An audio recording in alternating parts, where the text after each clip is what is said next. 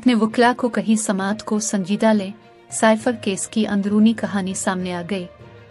रावलपिंडी की इदिला जेल में पाकिस्तान तहरीक इंसाफ के चेयरमैन और सबक वज़ीर अजम इमरान खान और वाइस चेयरमैन और सबक वज़ीर खारजा शाह महमूद कुरैशी के खिलाफ साइफर केस की आज होने वाली समात की अंदरूनी कहानी सामने आ गई।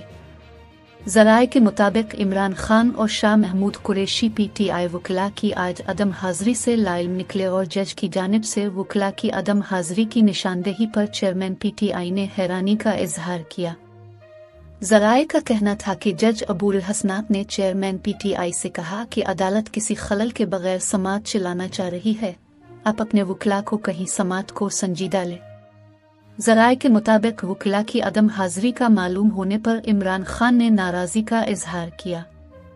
जराये बताते हैं कि अदालती कार्रवाई के दौरान इदिला जेल के बाहर बम की मौजूदगी का भी ज़िक्र हुआ और जज अबुल हसनात ने इमरान खान को कहा कि अपनी ज़िंदगी खतरे में डालकर इदिला जेल आता हूँ।